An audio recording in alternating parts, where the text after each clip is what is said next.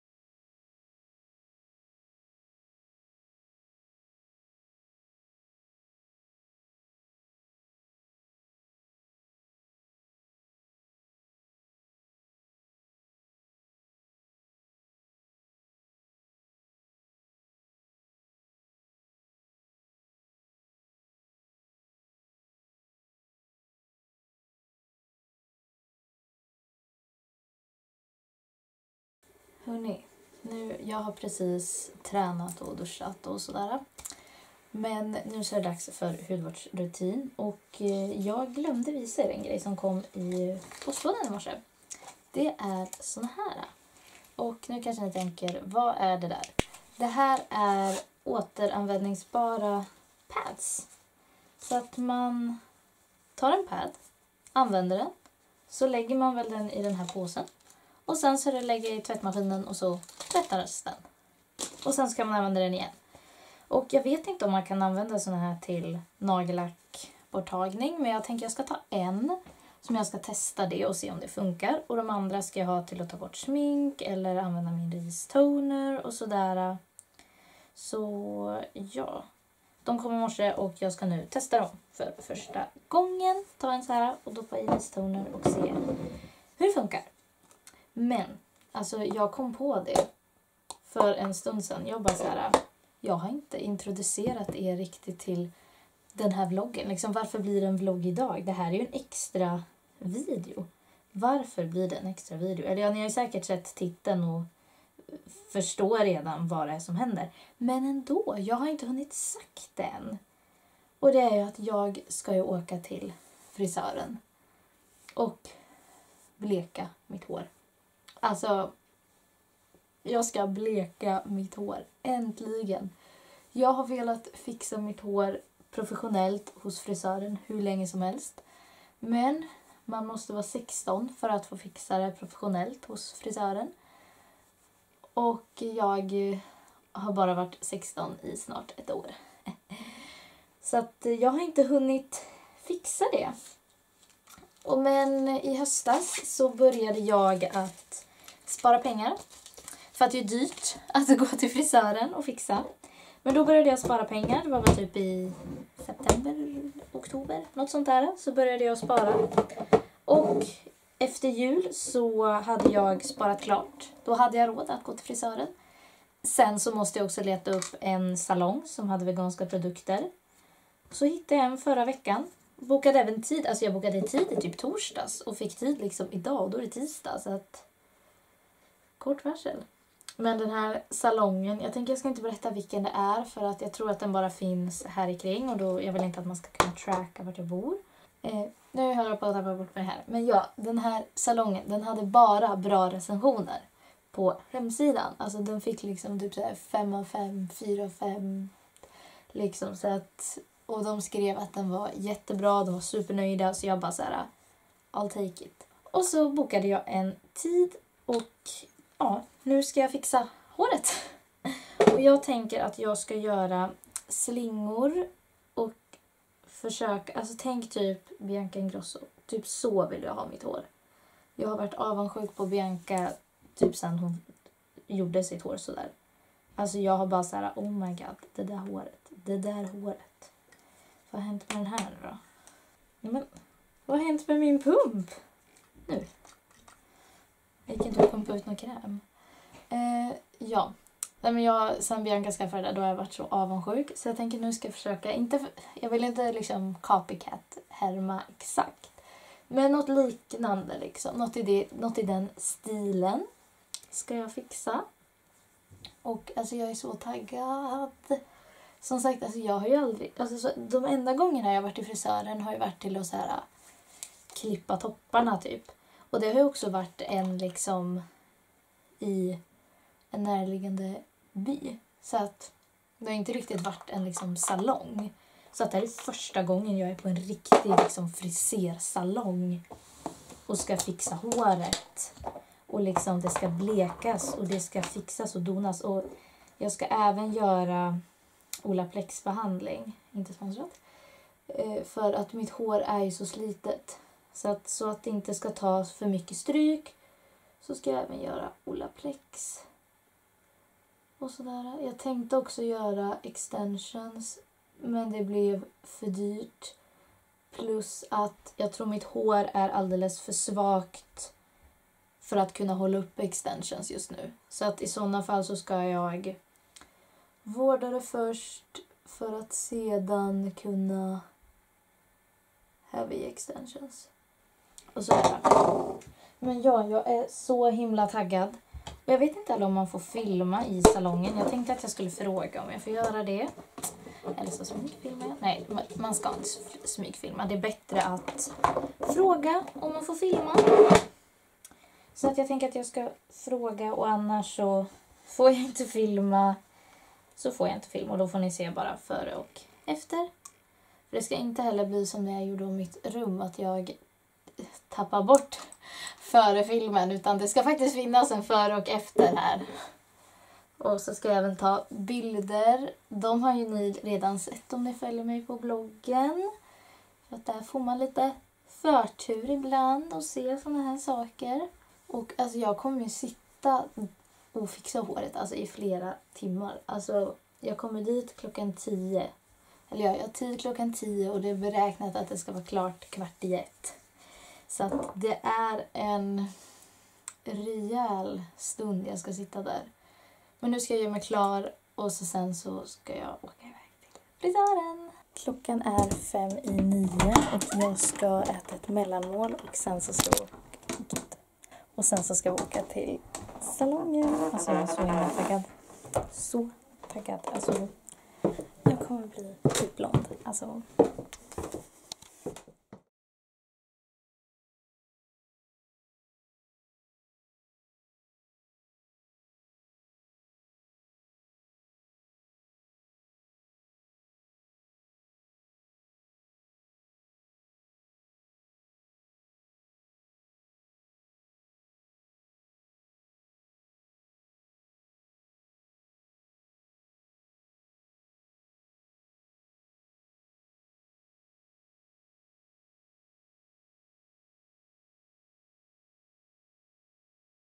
Alltså hörni, här har vi resultatet. Jag ska äta lunch, det är därför jag håller i bestick. Men alltså hörni, alltså ser ni detta? Alltså, det här är... Alltså det är så fint, alltså det är så fint. Min jacka styr upp mig lite, men alltså det är så fint. Alltså, jag är så kär. Det blev en, jag trodde att man skulle göra slingor men det blev en bajalage. Men alltså jag är så nöjd. Alltså jag är så nöjd. Alltså man kan inte tro att jag har varit brunett. Alltså jag kan bara titta på mig själv och jag är fine. Alltså jag är så kär. Ni kommer få se bättre sen hemma. För att alltså nu är det ju bilen så att det inte är lika bra. Men alltså oh my god. Det här är så himla fint. Men nu så ska jag äta lite lunch i bilen. För klockan är snart ett. Så att det var ganska länge sedan jag åt. Så ja. Nu så är jag hemma och alltså jag kan typ inte göra annat än att stirra på mig själv i spegeln och bara Who that? Who that? Alltså jag är så nöjd. Alltså jag är så lycklig och det är som att all typ nervositet inför att så här, fixa håret kom efter att jag nu har fixat håret. Det är liksom, innan jag fixade var jag inte alls nervös. Men nu är jag så här, det är typ nu jag börjar skaka och må illa och liksom, jag vet inte, alltså det känns som att jag ska kräkas och bryta ihop på en och samma gång. Och jag vet inte riktigt varför. Men jag är så nöjd, alltså. Och jag tycker det blir väldigt snyggt att så här, mitt hår eh, så här, längst nere blev lite lite varmare, lite mer så här kolablond. Det liksom smälter ihop på ett annat sätt och ser mer naturligt ut. Alltså jag, jag är så nöjd, jag är så nöjd, jag är så glad och jag är så... Alltså, jag är så nöjd. Så jag tycker det här har varit så jäkla bra. Och själva stylingen, alltså lockningen, allting. Får vi se om jag fortsätter ha snedbena nu eller om jag går tillbaka till att ha mittbena. Det får vi ju se. Får se också hur jag stylar det. Jag vill försöka styla det så här, utan värme. Men det kan vara så att jag behöver värme för att få det riktigt snyggt. Men alltså ser ni, alltså jag är, åh, alltså jag är så lycklig, jag är så lycklig, jag är så lycklig, jag är så, jag är så lycklig just nu. Alltså, jag är så lycklig. jag, jag, ja, jag, jag är lycklig, jag är så lycklig. Jag är så extremt, extremt lycklig. Men nu så ska jag fixa med ett blogginlägg så här eh, före och efter när jag då har fixat håret. Och sen så ska jag också redigera en video. Och jag vill bara säga det också att om, jag vet inte riktigt när den här bloggen kommer ut men det kommer troligtvis komma ut videos där jag är brunett. Eh, efter den här videon för de är förinspelade så att tro inte att jag färgar tillbaka efter det här utan det är förinspelade videos. Men alltså, jag är så lycklig. Det här är så fint. Alltså, det är så fint. Klockan är nu tio över tre. Jag håller fortfarande på och redigerar men nu så tänkte jag ta en paus, äta lite mellanmål och titta lite på Youtube en stund. Och sådär, svara på lite kommentarer och så. Och eh, sen så tänkte jag då sätta igång och eh, redigera igen.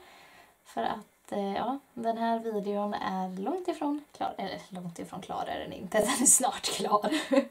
Men jag vill gärna få den klar idag och gärna så tidigt som möjligt så slipper jag. För nu några dagar så har det hänt så mycket under dagen och sådär att jag inte har hunnit redigera så jag måste ha redigerat ganska sena kvällar. Så jag vill gärna bli klar innan middagen så att jag kan ta det lugnt ikväll. Jag har nu redigerat klart videon och planerat den och även spelat in en till video. Jag hade helt glömt att jag skulle spela in den så att jag fick slänga ihop den här men jag känner mig faktiskt väldigt nöjd. Det känns som, det känns som att den gick riktigt bra. Men klockan är snart kvart i sex så att jag ska nu gå i ordning middag sen så ska jag äta och sen är det stora syster och eh, sen får vi se. Det är väl då jag återkopplar till er. Det blev ingen stora syster. Det känns som att så fort jag nämner en video, då blir det inställt. Men ja, det blev inställt så att istället så ska jag titta på Ex on the beach och Paradise Hotel. Och det var väldigt länge sedan jag tittade på det så att jag ska titta på det nu. Klockan är nu kvart över åtta och jag tänkte ta bort mitt smink. Men jag ska ju använda de här eh, padsen till att ta bort sminket. Så jag tänkte att ni kan få vara med på det och se hur de funkar. Alltså hörni, jag vet inte hur jag ska sova med mitt hår i natt så att det inte ska förstöras så mycket. Jag tror att jag ska... Den ska jag inte ha. jag tror att jag ska snurra det och eh, göra en snurr på vardera sida och eh, sätta upp det så med hårnålar. Typ som jag gör nu. Nu sätter jag bara upp det medan jag ska ta bort sminket och så så att det inte ska få produkt på sig. Men sen tänker jag att jag ska ta i olja, snurra upp det här och så sätta upp här och sen snurra här och sätta upp här. Jag tror att jag ska göra så men jag är inte helt säker. Eh, jag tar bort smink. Och som sagt då får jag testa med en sån här pad. De kommer ju gå åt en del de här padsen beroende på hur ofta jag sminkar mig. Man kanske skulle ha köpt två förpackningar.